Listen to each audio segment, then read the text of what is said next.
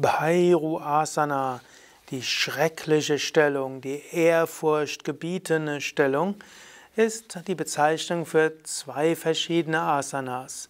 Zunächst gib die Füße zusammen und hocke dich so hin, dass beide Fersen direkt das Perineum berühren, also den Bereich zwischen den Sitz, ja, zwischen den Pobacken.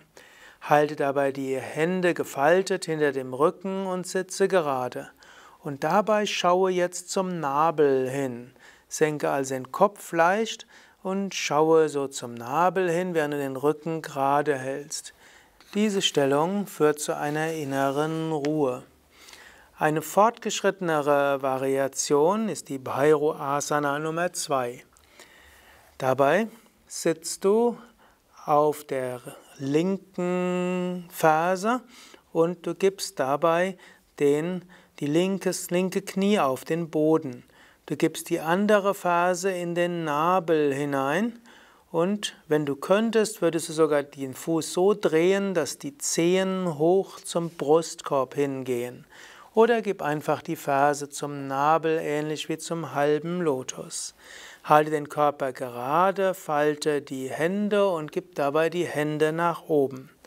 Und in einigen der Schriften heißt es, diese Stellung wird auch genannt Siddhi Bhairu Asana.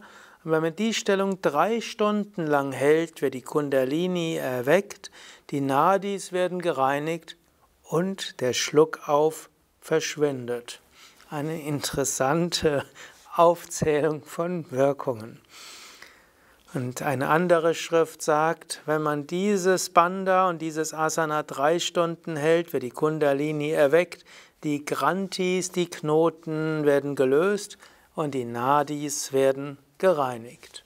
Also probiere die Asana drei Stunden zu halten und schreibe dann die Kommentare, welche Wirkungen das auf dich hatte.